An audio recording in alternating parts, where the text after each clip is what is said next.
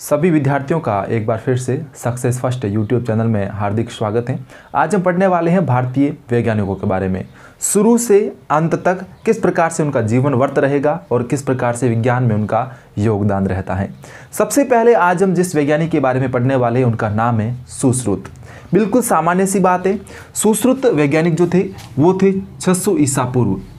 छह ईसा पूर्व एक महान भारतीय वैज्ञानिक सुश्रुत हुए अब सुश्रुत ने क्या क्या जानकारियाँ हमको दी? उन सारी जानकारियों के बारे में हम पढ़ने वाले हैं। पहले तो ये बात की जाती है कि सुश्रुत किसके वंशज थे? तो सुश्रुत थे विश्वामित्र के वंशज। ये पहला प्रश्न रहता है सुश्रुत से संबंधित कि सुश्रुत किसके वंशज थे? तो विश्वामित्र के वंशज थे। सेकंड प्रश्न यहाँ से आता है कि इन्होंने किस जान, किसकी जानकारी दी? या फिर यूँ कह सकते हैं कि सुश्रुत का विज्ञान के क्षेत्र में क्या योगदान रहता है? तो यहाँ से हम उत्तर बताएँगे कि सर्वप्रथम शल्य चिकित्सा का परिष्कृत ज्ञान देने वाले सुश्रुत थे। सबसे पहले जो ऑपरेशन विधि आज चलती है, जो ऑपरेशन की क्रियाएँ आज हॉस्पिटल्स के अंदर चलती हैं, इनकी सबसे पहले जो जानकारी दी थी, वो दी थी सुश्रुत ने। इसके बाद हम पढ़ते हैं कि शल्य क्रिया में प्रयुक्त जितने भी यंत्र रहते हैं आज जो ऑपरेशन कार्य किया जाता है, ऑपरेशन के दौरान कई प्रकार के यंत्रों की आवश्यकता होती है। तो उस यंत्रों के बारे में भी सबसे पहले जानकारी जिसने दी थी उसका नाम था सुश्रुत। इसके आगे के बिंदु में पढ़ते हैं कि इनके द्वारा एक रचना रचित की गई थी। इनके द्वारा जो रचना रचित की गई थी उसका नाम था सुश्रुत संहिता। सुश्रुत संहिता में खास बात क्या थी कि इसके अंदर शल्य चिकित्सा की जानकारी थी। शल्य चिकित्सा की जानकारी सुश्रुत के द्वारा रचित सुश्रुत संहिता में दी गई थी।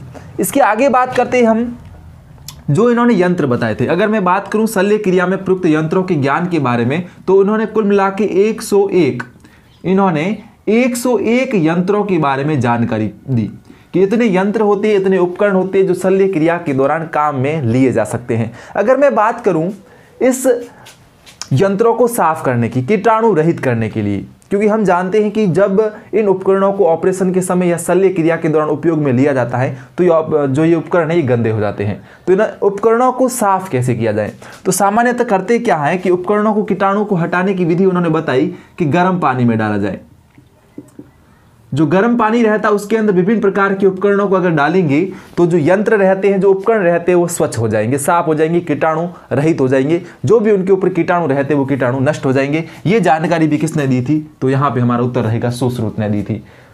और आज भी यही विधि हॉस्पिटल्स के अंदर काम में ली जाती है। उपकरण काम में लेने के बाद वापस उसको गर्म पानी में डाला जाता है और परिष्कृत किया जाता है, साफ़ किया जाता है। बात करें हम नाक, कान व होठों के प्लास्टिक सर्जरी की तो इसके उदाहरण से ही समझाने वाले जो पहले वैज्ञानिक थे या हम इसे कह सकते हैं प्लास्टिक सर्जरी का जनक।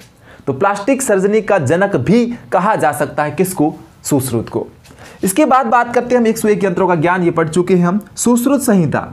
अब सुश्रुत संहिता उनके द्वारा रचित एक रचना थी। काफ़ी महत्वपूर्ण रचना थी, क्योंकि इसका आगे कई भाषाओं में ट्रांसलेशन हुआ। रचना काफ़ी महत्वपूर्ण थी सभी के लिए। और ये महत्वपूर्ण इसलिए थी क्योंकि इसमें शल्य चिकित्सा के बारे में जानकारी थी, प्लास्टिक सर्जरी के बारे में जानकारी थी और शल्य चिकित्सा के दौरान काम में ली जाने वाले उपकरणों के बारे में भी जानकारी थी।